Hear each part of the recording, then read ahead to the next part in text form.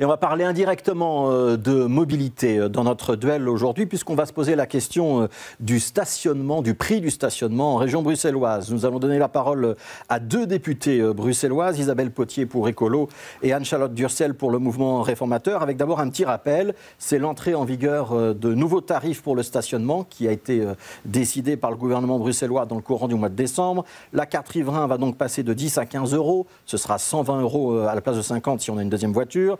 La première demi-heure de stationnement va passer de 50 à 90 centimes et la redevance forfaitaire, c'est-à-dire l'amende quand on a oublié de payer, va elle passer de 25 à 40 euros. Bonjour Isabelle Potier.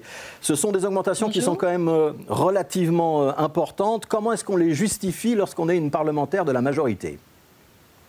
Oui, bonjour. Mais en effet, euh, le stationnement est un levier important en matière de mobilité on sait que le fait de disposer d'une place de stationnement facile est le, deuxième euh, facteur qui contribue à utiliser les voitures en ville et on sait qu'on utilise trop les voitures en ville et donc on utilise le, tarif du stationnement pour rééquilibrer l'usage de l'espace public parce que l'espace public est un bien commun qui est financé par l'ensemble des contribuables, qui est actuellement privatisé à 70%. Euh, et euh, alors que 53% des ménages bruxellois ne possèdent pas de voiture et subissent les nuisances euh, liées à l'usage excessif de la voiture en ville. Et donc, le but du relèvement des tarifs, c'est d'organiser la mutualisation euh, du parking, parce qu'il faut savoir qu'à Bruxelles, on a pratiquement un million de places de parking, ce qui est, ce qui est énorme. Il y a 944 432 places, 265 000 en voirie et 680 000 en ouvrage, donc sous des immeubles, principalement de bureaux et de logements. Et donc, les tarifs constituent un levier pour inciter les gens à utiliser davantage les parkings en ouvrage afin de libérer l'espace public pour d'autres usages, les usages sociaux, le jeu, la promenade et euh, la virtualisation. voilà, utiliser les parkings souterrains, notamment les parkings des entreprises. On y reviendra peut-être. Euh, juste une question et une réponse très rapide, si vous voulez bien. Euh, les tarifs que je viens de présenter, ils doivent encore être présentés aux communes et encore être votés au Parlement. Ça veut dire qu'ils pourraient entrer en, en vigueur à quelle échéance? On a une idée ou pas? Personnellement, je ne connais pas la date, euh, mais effectivement, il y a encore des concertations euh, en cours avec les communes. Alors, Anne-Charlotte Durcel, euh, membre du mouvement réformateur, vous êtes donc dans l'opposition. Vous en pensez quoi de cette augmentation? J'imagine que le mouvement réformateur ne va pas voter pour quand ça arrivera au Parlement. Je me trompe? Ça, c'est certain. Donc, en, réalité, nous assistons à une explosion du coût du stationnement et on peut se demander euh, s'il s'agit euh, d'une priorité pour ce gouvernement.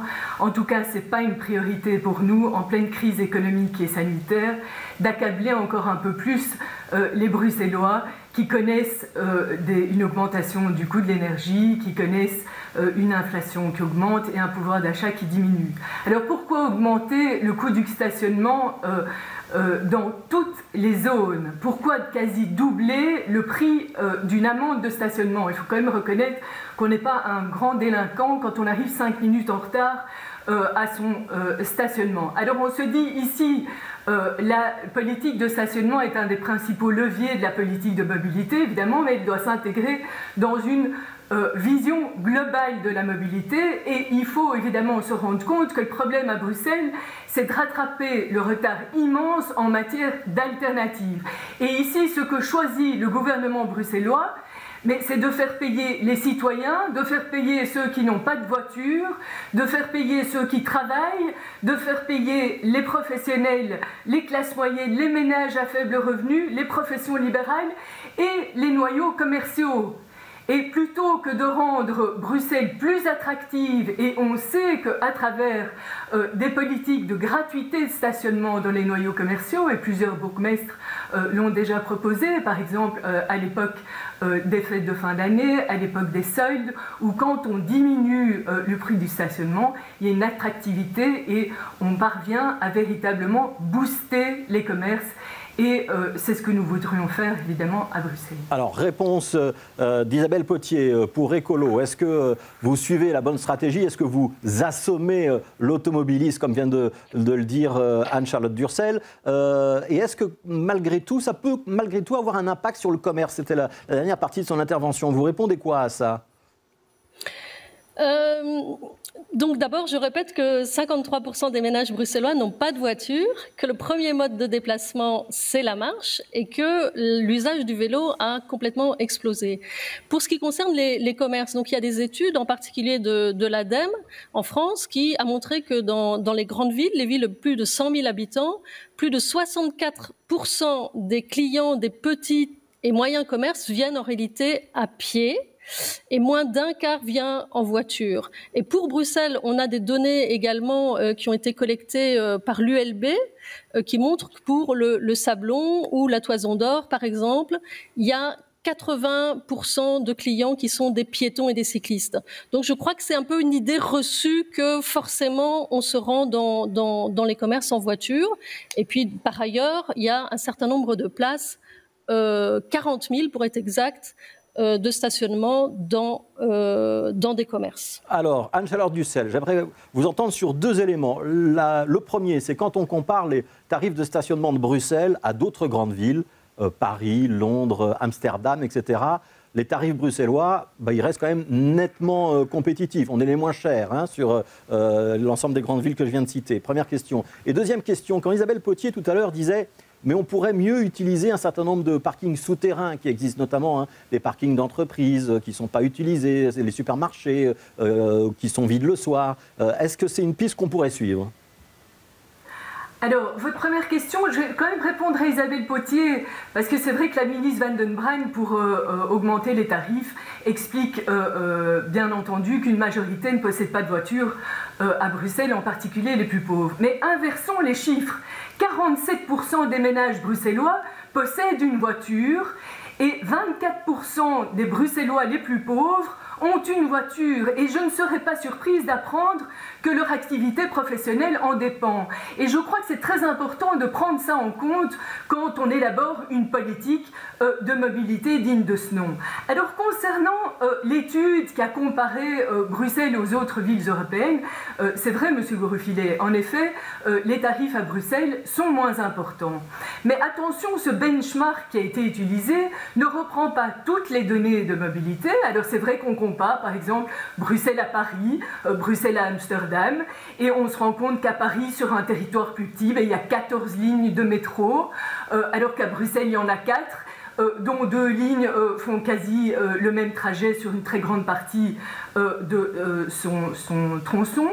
Et même chose à Amsterdam, où on a par exemple des parkings de dissuasion en nombre qui permettent vraiment de façon efficace à permettre aux, aux, automobilistes de lâcher leur voiture avant de rentrer dans la ville. Anne-Charlotte est-ce que vous êtes quand même d'accord avec l'idée Est-ce que vous êtes quand même d'accord avec l'idée qu'on pourrait mieux utiliser un certain nombre de parkings privés aujourd'hui et que ça libérerait de la place en voirie. Tout à fait. Mais je voudrais vous dire qu'on compare aussi Bruxelles à Genève, Bruxelles à Copenhague, euh, comme étant euh, euh, vraiment l'exemple à suivre. Sauf que les revenus, les salaires, le pouvoir d'achat ne sont pas identiques. Et je voudrais quand même rappeler qu'à Bruxelles, il y a le plus haut taux de personnes qui risquent de basculer dans, la pauvreté. C'est 38%. Donc on est dans un cas de figure qui est très différent. Alors concernant la mutualisation, donc la mutualisation est un principe avec lequel nous sommes totalement en accord. Donc l'idée de pouvoir mieux utiliser euh, les parkings souterrains, c'est évidemment euh, une piste euh, qui est tout à fait louable et que nous soutenons. Maintenant, depuis 2014, le gouvernement avait l'obligation de compenser hors voirie les places supprimées en voirie et jamais cette clé de compensation n'a vu le jour et je remarque en tout cas que le gouvernement actuel euh, n'est pas en train de, travailler sur une clé de compensation qui pourrait permettre en partie de retrouver des places hors hors de l'espace public de façon à pouvoir proposer une alternative aux personnes qui ont réellement besoin de leur voiture. Voilà, bon, on a compris qu'on vous mettrait sans doute pas d'accord sur un certain nombre de points, mais qu'il y avait au moins un accord sur l'idée de mutualiser les places de parking et donc d'utiliser mieux un certain nombre de places de parking dans les entreprises, dans les centres commerciaux ou ailleurs qui restaient vides une partie de la journée. Merci beaucoup Anne-Charlotte Durcel pour le mouvement réformateur dans l'opposition, Isabelle Bautier, députée bruxelloise pour Écolo, donc dans la majorité. Merci pour ce débat.